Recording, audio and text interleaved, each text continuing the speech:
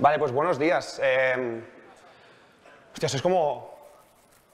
Tengo la necesidad de daros un poco las gracias porque venir un sábado a las 10 de la mañana a hablar de testing en el frontend en lugar de cualquier otra cosa que puedes hacer un sábado por la mañana, pues es como sos unos y unas valientes. Eh, es testing en el frontend, si alguien quiere salir, está a tiempo, no hay ningún problema. Igual no, no es lo que esperabais. Cuando preparas una charla o cuando dices, no, voy a hablar de tal tema y buscas información en, Internet, cinco consejos para dar tu mejor charla. Siempre hay uno que la gente te dice, ten clara la idea, el foco de lo que quieres contar mm, y asegúrate que toda la estructura de esa charla esté basada en esa idea y que vas transmitiéndola y que al final llegas a una conclusión ¿no? y la gente pues ha hecho un camino contigo y llega a la, conclusión final. Y la teoría esa me gusta mucho, pero como es temprano un sábado, igual digo, y os cuento ya al final, así ya os dejo la idea, y si alguien quiere irse, pues que sea libre. Entonces, yo el libro que yo he venido a contar es que testear, a ver si esto funciona, sí, que testear el frontend no debería ser tan difícil. No es algo que suena o parece difícil, pero no debería serlo. Y que realmente no lo es. No es tan difícil si usamos eh, el mindset adecuado, la estrategia correcta y unas herramientas que, nos ayuden. ¿vale? Y esa es la idea de lo que he venido a contar. Así que si hay otra charla otra que os interesa, os quedáis con esto y habéis visto dos en una hora, que es maravilloso. Si os quedáis, algunas verdades sobre esta charla es que no he venido a intentar convencer a nadie de por qué se deben escribir test. Voy a asumir, bueno, lo pregunto, eh, ¿podéis levantar la mano la gente que escriba aplicaciones en el frontend en general? Y genial. ¿Y mantener la mano arriba los que escribís también tests? Está lleno de mentirosos un sábado por la mañana en la universidad. No pasa nada. Total, no, voy a intentar convencer a nadie de que testear es importante. Lo voy a dar por asumido y si no, pues lo hablamos luego eh, fuera. No es una amenaza tampoco. Tampoco voy a hablar de testing como una herramienta de diseño, como una herramienta para crear mejor código, sino testing desde el punto de vista de evitar bugs y regresiones, ¿vale? Tampoco, vamos a hablar de nada, tampoco voy a hablar de testing de regresión visual, esa idea de comparar visualmente páginas a ver si se ha movido algo, si no, ¿vale? Es otro tipo de testing. Y lo que voy a contar está basado en mi experiencia, así que si alguien está muy en contra de lo que diga o no le parece bien, es totalmente legítimo porque eh, no está grabado en, piedra. Me llamo Adrián Foncuerta, ah, soy senior, sea lo que sea que signifique senior, software engineer en Olaluz. Olaluz es una, comercializadora eléctrica de Barcelona, donde acercamos la gente a la energía verde, que suena muy guay.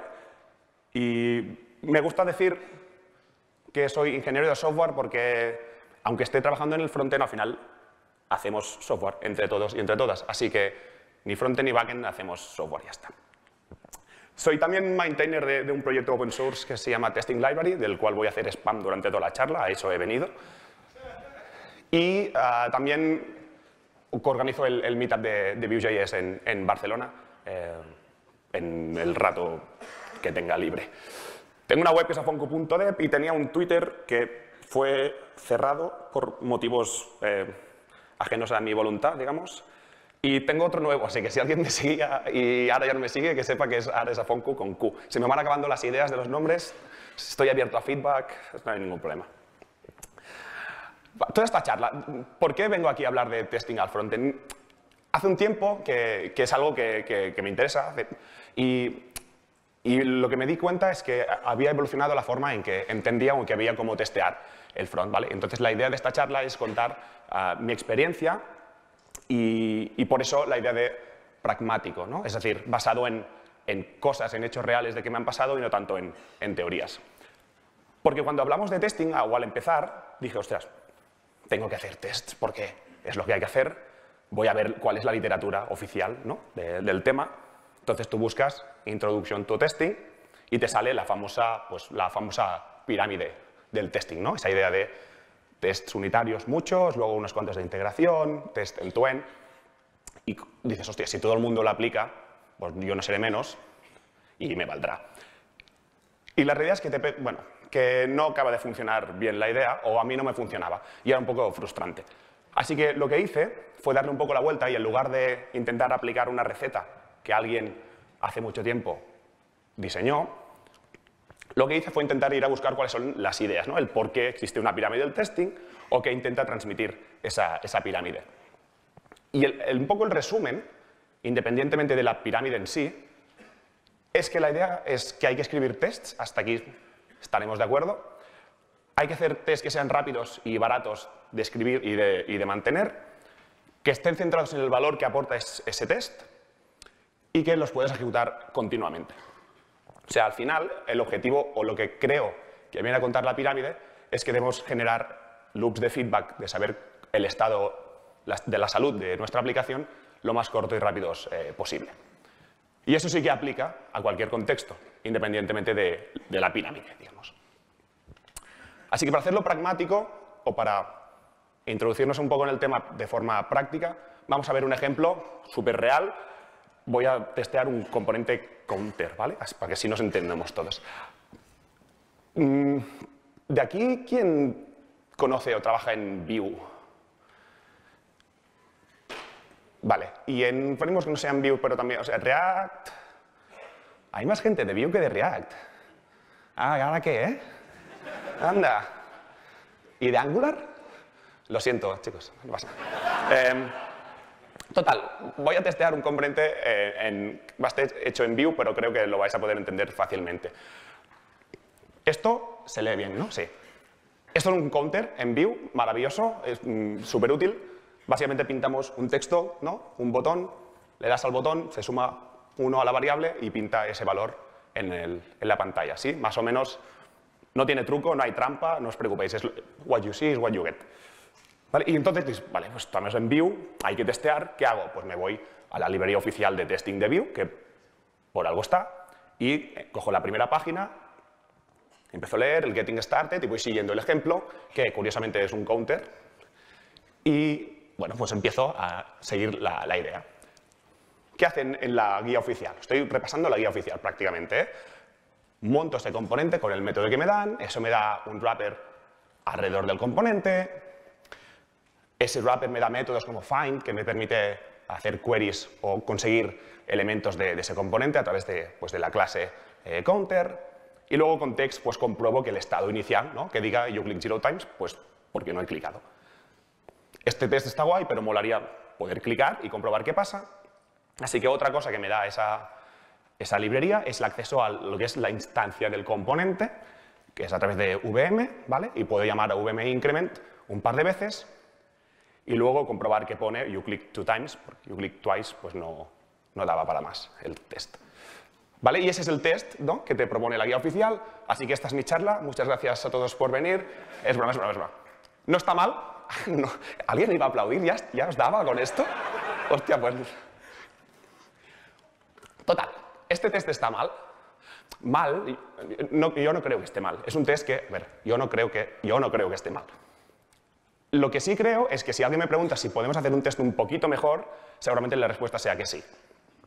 Y, voy a intentar explicaros el porqué. En este test, o sea, perdón, en este componente, imaginad que llega un, senior software engineer en un pull request y os dice, el componente no está mal, pero ese método increment ahí con un discount, eh, solamente una línea, pero tienes que poner methods, no hace falta, ¿no? Podemos poner el método inline y nos ahorramos líneas de código. Todo el mundo sabe que menos líneas de código es mejor código.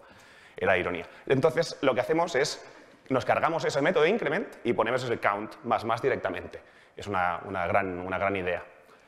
Y luego el mismo senior software engineer dice, y ahora que me fijo, esta clase counter ahí, hostia, me lía, ¿no? Porque el counter sería como todo el componente, ¿no? Que algo se llame counter dentro de counter, como que, ¿por qué no le cambias el nombre a esa clase le pones algo mucho más útil como context, por ejemplo? Y bueno, como es software senior engineer, lo que sea, pues sí, subes, tal.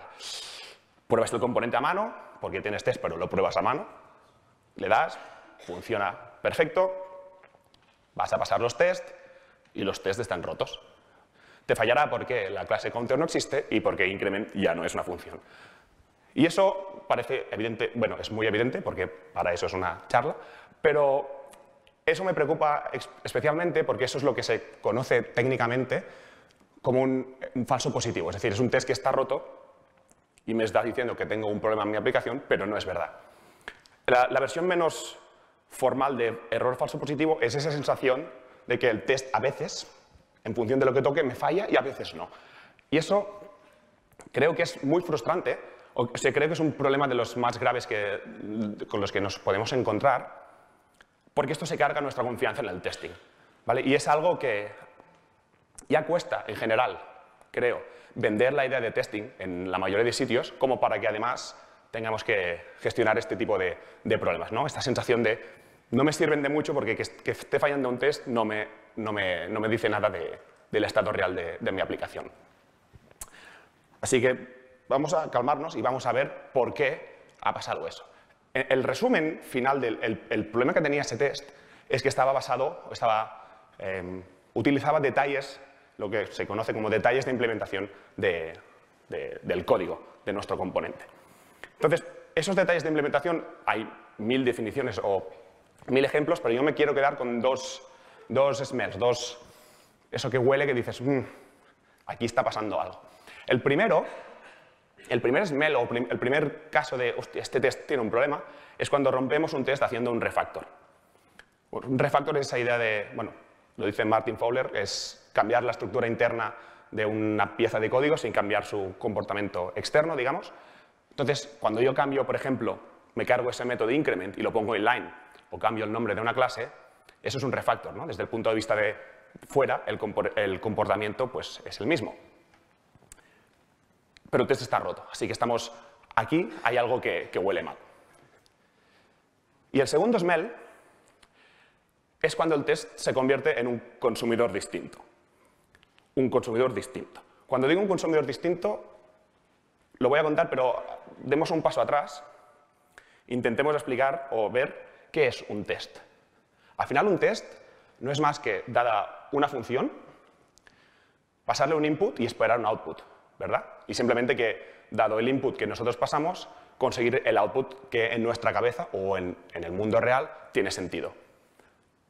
Y este modelo mental, que es muy sencillo, creo que a veces se nos olvida, incluso en el front se nos olvida, porque no tenemos funciones y tenemos componentes, ¿no? Bueno, pues mira, hacemos trampa y en lugar de función le ponemos componente la ecuación es la misma, los, componentes al final son funciones.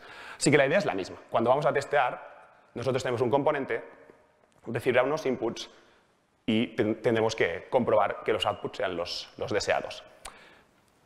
La siguiente pregunta es, vale, inputs, outputs, componentes, ¿cuáles son los inputs y los outputs de un componente? Para ver eso hay que responder otra pregunta que es, ¿quién usa ese componente? ¿no? ¿Quién genera esos inputs y quién recibe esos outputs. En general, en general hay dos usuarios principales de nuestro código. ¿vale? Por un lado está eh, el usuario final, la persona que va a usar nuestra aplicación eh, de verdad, digamos, en, producción, por así decirlo. Y hay otro usuario que a veces se nos olvida, que es la gente de, desarrollo. cuando nosotros creamos un componente, lo importamos y lo usamos. ¿no? También somos consumidores de, ese código. Vosotros y vosotras sois consumidores de vuestro propio código, hasta cierto punto es. Entonces, nuestro, nuestro componente, en este caso, ah, tiene, que, tiene, que, responder a las necesidades de, estos dos usuarios. Así que estos usuarios son los que van a hacer, a emitir inputs y outputs a, a nuestro componente. ¿Cuáles son los inputs que emite a estos usuarios? Pues así en sencillo, la gente de desarrollo va a pasarle, ¿no? ¿Qué inputs va a recibir? Pues props, atributos, ¿no? propiedades que le pasemos desde el código a un componente. Y por otro lado, el usuario final pues va a interactuar. Va a hacer scroll, va a hacer clic, va a escribir. Esas son las interacciones, ¿sí? Es el input que va a recibir de parte del usuario final. ¿Y los outputs? ¿Cuáles son los outputs? Desde el punto de vista de desarrollo, y aquí es un poco genérico, pero lo llamamos side effects, que es básicamente todo eso que se genera a, nivel de componente que eh, nos afecta a nivel de programación. Peticiones HTTP, yo qué sé, cookies, console logs, si nos hemos dejado alguno, etc. ¿Y cuáles son los outputs de, que espera el, usuario final? Pues al final es lo que se pinta en pantalla, elementos del DOM. ¿no? Cuando tú utilizas un componente, el usuario final va a consumir no el componente, sino ese HTML, lo que sea. Entonces tenemos el resumen de los inputs y los outputs que reciben y esperan nuestros componentes y eso, eso es en lo que vas a querer centrarte a la hora de testear en el front. ¿vale? En resumen, entran props y interacciones y salen side effects y nodos del DOM. Esta es la foto de testear en el front. La pregunta, o todo esto venía a cuento de que en nuestro test había dos, eh, varios problemas, pero había dos problemas en estas dos líneas, porque nuestro test, si os fijáis, está pidiendo cosas o interactuando con nuestro componente de una forma ¿A quién está imitando nuestro test? ¿Está haciendo lo mismo que el usuario final? ¿Está haciendo lo mismo que la gente de desarrollo? La verdad es que no. Con estas dos líneas, ¿no? haciendo, llamando a un método directamente o haciendo queries vía clases de, HTML, eh, lo que, lo que, hemos conseguido, que no es un objetivo muy, muy maravilloso, es que hemos desbloqueado un tercer usuario que es el test. ¿Vale? Ahora ya no tenemos dos usuarios, tenemos un tercer usuario con sus, propios, ah, sus propias ah, necesidades que vamos a tener que cumplir. Así que cuando decía que un smell o que algo huele a que el test no está todo lo preparado que debería estar, es que tenemos un tercer consumidor y ese, tercer consumidor es el test. Cuando el test se convierte en un ente al que debemos satisfacer, pues ese test se convierte en, o se puede convertir en un problema eh, para nuestro yo futuro. La pregunta, lo que me preocupa es que esto está en la guía oficial de la librería de testing, es decir, no es algo que yo haya hecho mal, o, sí, pero en cualquier caso he seguido lo que me proponen. ¿Cómo puedo, cómo puedo llegar en un contexto o cómo puedo asegurarme de que estoy lejos de esos detalles de implementación? ¿no? Eh, ¿Cómo puedo conseguir herramientas que me ayuden a eso en lugar de impedírmelo? Bueno, pues usando las herramientas adecuadas. Y aquí es donde vengo a vender la moto.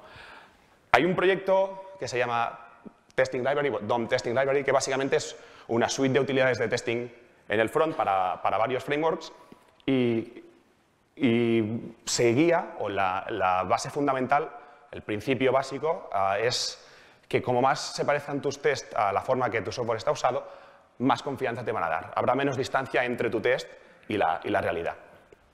DOM Testing Library, como os decía, vale para, cualquier cosa que se pinte en el DOM. Entonces, para hacerlo más cómodo, creamos o existen varios ports ah, para las principales librerías que existan en, ah, bueno, actualmente, incluso para entornos como Cypress y básicamente lo que hacemos es adaptar esas queries a los componentes o a los contextos de, cada framework. ¿Vale? Y esto está muy bien, pero bueno, vamos a ver un ejemplo que se entenderá bastante mejor. Vamos a intentar testear el mismo componente, pero con, un enfoque un poco distinto. Veréis que el test incluso visualmente se parece, pero el fundamento es algo distinto. el, testing, el View Testing Library, en este caso, nos da un método de render que lo que hace es renderizar ese componente y nos devuelve una colección de utilidades, de métodos para interactuar con, nuestro código. En este caso usaremos solamente el getByText porque nos viene a cuento, pero bueno, hay una API no muy grande, bastante pequeña en realidad, para, interactuar con él. Como antes, lo primero que hacemos es comprobar que, el texto inicial sea el que toque. Aquí, si os fijáis, bueno, paso una expresión regular para darle un poco más de flexibilidad, pero lo que estoy haciendo es comprobar que getByText y un texto devuelva algo, devuelva algún elemento, es decir, que ese texto se encuentre en el, en el DOM. No me interesa tanto el elemento, sino simplemente comprobar que eso está ahí. Se te esmola, pero bueno, vamos a clicar nuestro componente. ¿no? Para hacerlo necesitaremos coger ese botón y darle clic. Para cogerlo, pues getByText, como os decía, devuelve el elemento del DOM en el que esté ese texto. Eso es el elemento de HTML de verdad, no es instancias de componente, es HTML puro y duro. Y luego lo que hacemos es lo más parecido que podamos, hacer un clic lo más parecido que podamos a, nuestro usuario. Lo más parecido sería ir a su casa, probar con el ratón que funcione, pero no escala muy bien. Entonces, lo que tenemos que hacer es asumir algún trade-off, ¿vale? Y lo que hacemos es, con ese método FireEvent que saco ahí arriba, saco ahí arriba, ahora, pues hacer, lanzar, bueno, es que casi se puede leer, espera que lanzar el evento click al botón dos veces, ¿vale? Lanzamos el mismo evento que se lanza desde un ratón, ¿vale? Y entonces simplemente comprobamos que el texto final sea, sea el de two times igual que antes. Si os fijáis, el, texto, ah, el test, la, la estructura es muy parecida, pero aquí estamos leyendo o pidiendo cosas a nuestro componente, como lo hace un usuario, que es a través del texto, a través de lo que se lee, no a través de instancias o de clases, y estamos interactuando con él lo más parecido posible, haciendo clic, no llamando a métodos internos. Y esa es la, diferencia clave que creo que justifica la charla, prácticamente. Otra cosa buena de este test es que solamente hay dos líneas en las que ah, dependa ah, qué framework estoy usando. La primera línea porque hay un import que pone view, esa es evidente, y luego el, momento que hacemos render porque le estoy pasando un componente de view, no un componente de otro framework. el resto del test eh, es independiente del framework. Si este mismo test, si tuviésemos el componente implementado en, React, sería así. El testing library sería de React y el render sería con JSX, pues, pues porque podemos. Con Angular no lo tengo, luego lo miramos, pero creo que no sé si cabrá en pantalla. Es, que es muy fácil, me, sabe hasta mal. Al final, el test, ese test está bien. Lo que yo acostumbro hacer cuando tengo este tipo de test es... Ah, el, test es código al final, entonces las buenas prácticas que, conocemos para, para, el código de producción también nos vale para los test. Y este test, en general, me gusta, pero me cuesta un poco ¿no? leerlo, saber exactamente qué está pasando. Entonces, yo lo que acostumbro hacer, y es un consejo que doy independientemente de la librería que estemos usando, es crear un poco unas abstracciones sobre cada componente para que el test se pueda leer. En un caso real, yo lo que haría con este, este componente, con este test de componente, es en lugar de usar render y esos métodos de get by y repetir cadenas de texto en el test y tal, lo que haría es hacerme una funcioncita en el propio archivo, que sea un render del counter, ¿vale? Que me devuelva esa colección y entonces darle un poco de, semántica a ese test. ¿vale? Haría algo como pues, crearme una función click que haga clic al, botón y una función que me permita buscar el texto, ¿vale? de forma que evite repeticiones y que el, test se pueda leer. Esa función lo que devolvería es esos dos métodos más el resto de, utilidades de la librería. Haciendo esto, el test final tiene un aspecto tal que así que desde, bueno, desde mi punto de vista tiene un poco más de semántica, entiendes que está haciendo el test y te alejas de los detalles de, la librería. ¿vale? Es un poco más enfocado al comportamiento y no al detalle de, qué texto está exactamente, etc. Con esto hemos conseguido varias cosas. En general hemos escrito un test que es bastante agnóstico del framework, cosa que entiendo que es una ventaja porque a nuestros usuarios les da igual que el counter sea en Vue o React, lo que quieres que sume. Hemos escrito un test que está más cerca de nuestros usuarios, es un test que hay menos distancia entre lo que hace el test y lo que hacen los usuarios, por lo que hay menos espacio para que pasen cosas raras. Y además hemos escrito un test que no se convierte en un tercer usuario que no tiene sus propias eh, necesidades. La librería Testing Library incluye más, más queries, no os las voy a contar todos, todas porque para eso está la documentación. Hay algunas que me gustan bastante, por ejemplo, hay una, una query que es getByLabelText, que lo que hace es, a partir del texto de un, label, devolverte el input asociado, de forma que también testeamos a nivel de accesibilidad, ¿no? que la, aplicación sea, eh, por lo menos en este nivel, tan accesible como sea posible. Y, bueno, hay varias queries más en las que no voy a entrar, pero son solamente estas, así que la API es muy, muy sencillita. No hay, no hay, no hay mucho truco. Yo cuento esto y hay unas reacciones que, con las que me he encontrado que son casi siempre las mismas. La primera, que es muy evidente y que igual alguien la está pensando aquí, espero que sí, es muy bien Adri, has hecho una charla para testear un counter en media hora, mucho mérito tampoco tiene, y, y es verdad, es solamente un counter, es un componente que le das un botón, suma, y suma uno y no tiene mucho truco. Imaginad ahora por un momento que nuestra aplicación del counter pues es, no sé, lo peta, ¿vale? Y pues, levantamos un montón de pasta a base de counters y entonces, joder, si lo levanta, bueno. Y Y luego vemos que no escala, ¿no? Ese counter, pues que no escala. Y nos viene el CTO y dice, es que hay que darle un poco más de ¿no? arquitectura, y tú dices, va, lo tengo. En Vue hay una librería de gestión de estado que me viene fenomenal para gestionar un número, para ir sumando, es perfecto. Entonces, vamos a meter Vuex ahí, ¿vale? Porque, bueno, porque si no componente, pues claro, ¿cómo vas a desplegarlo serverless y tal sin, sin, sin una, un poco de complejidad innecesaria, ¿no? Así que coges el componente y en lugar de tener ese count ahí, pues te vas a Vuex. Si no entendéis mucho la sintaxis de Vuex, es, bueno, es como Redux para React y como algo para Angular. Y, ¿vale? Básicamente, en lugar de tener el estado ahí, pues lo cogeremos de un estado global, ¿vale?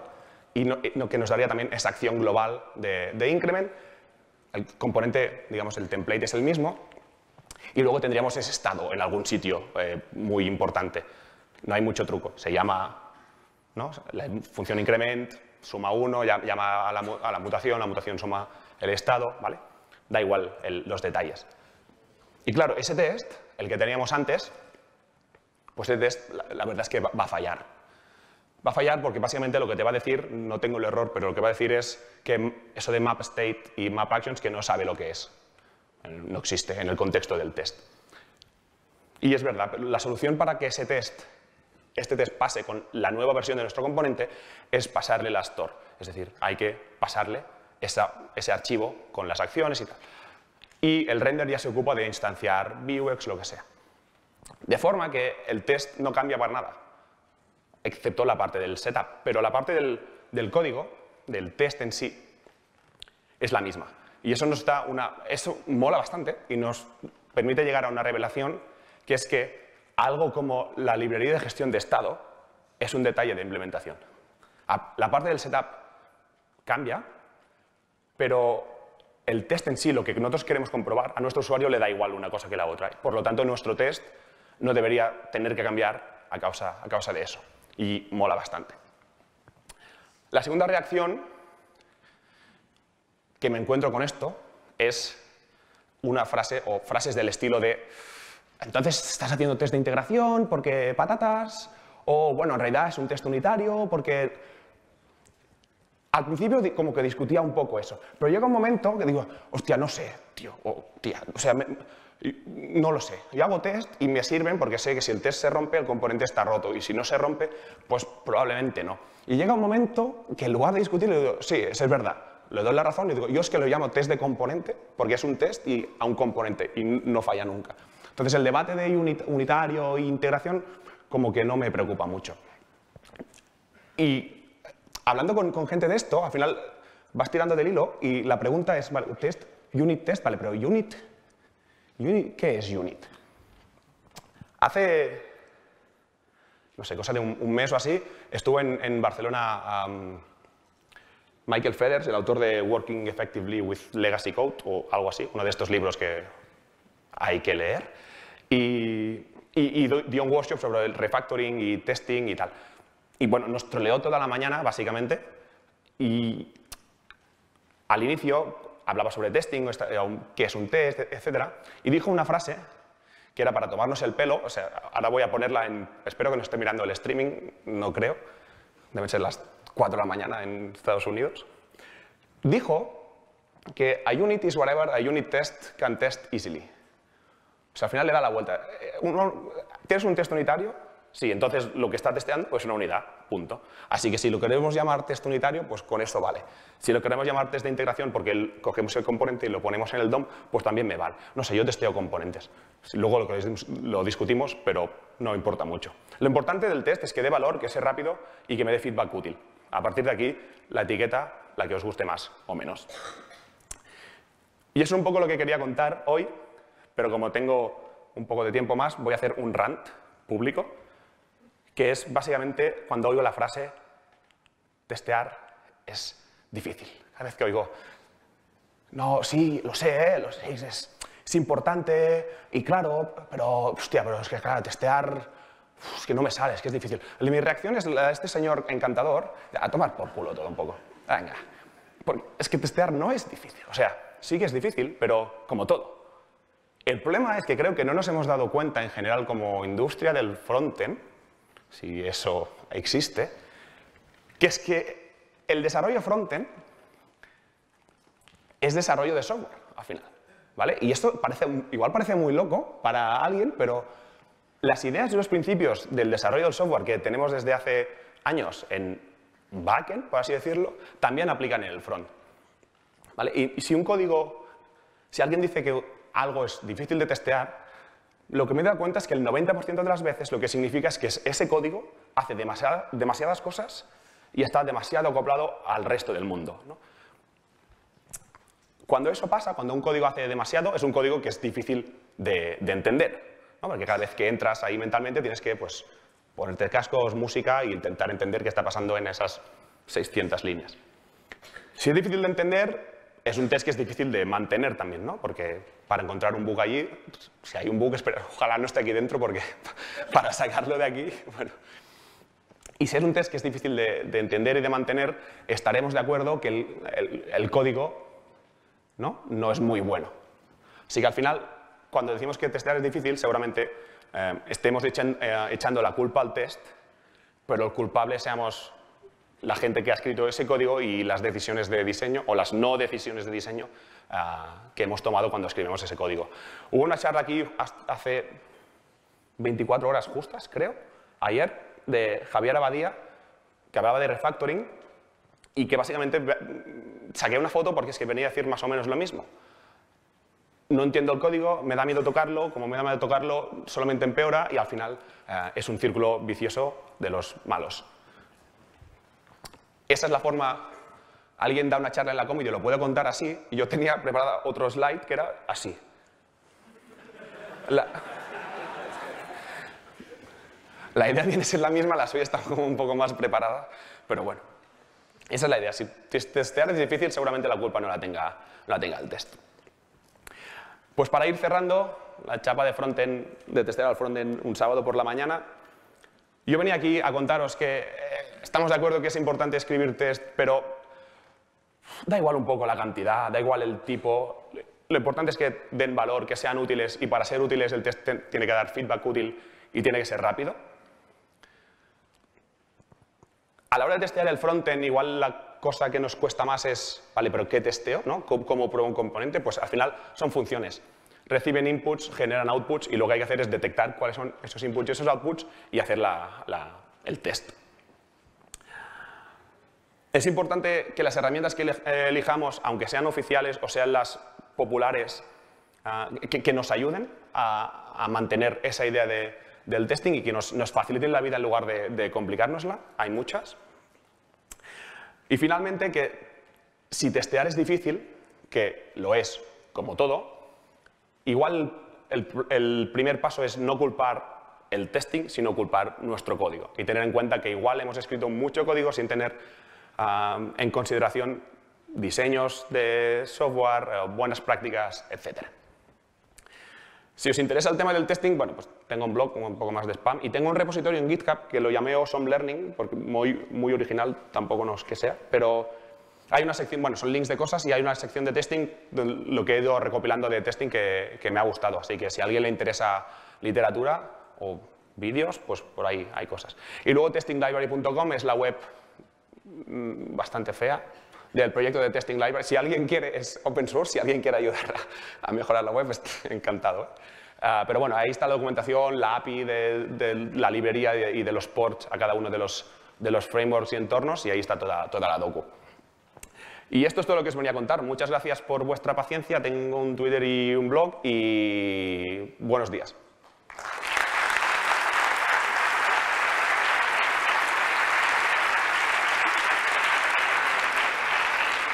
Y no sé tiempo para... Lánzalo, pero... ¿Alguna pregunta? ¿Alguna...?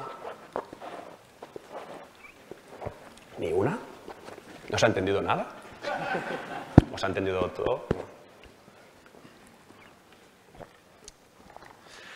Eh, bueno, eh, gracias por la charla, muy, muy didáctica. Eh, ¿Cómo sería para, por ejemplo, si ese componente tiene un side effect, ahora, por ejemplo, llamar a, una API? ¿Lo moqueas o, o como...? sí, La respuesta corta es sí. La respuesta poco más larga es lo que decíamos antes, un test para que sea útil o para que dé valor tiene que ser rápido y fiable.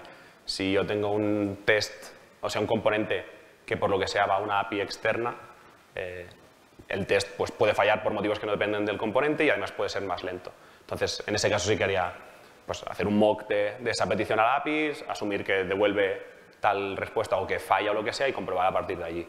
en general intento hacer tan pocos mocks como sea posible. Por ejemplo, hay, unas prácticas bastante habituales que es a la hora de testear cuando componentes tienen store o contienen eh, ¿no? gestión de estado fuera del componente, pues hacer mocks de eso y asumir que esa store funciona. En general, a mí me gusta la idea de cuantos menos mocks o cuantas menos, cuantos menos agujeros en la realidad hagamos, mejor, porque más seguridad da el test. Lo que pasa es que llega un momento que cuando vas a servicios externos que no dependen de ti directamente, pues eh, es mucho más cómodo hacer ese mock que, no confiar que el servicio siempre esté disponible, que siempre devuelva lo mismo, etc. Pero sí, lo intentaría limitar esos casos. Vale, guay.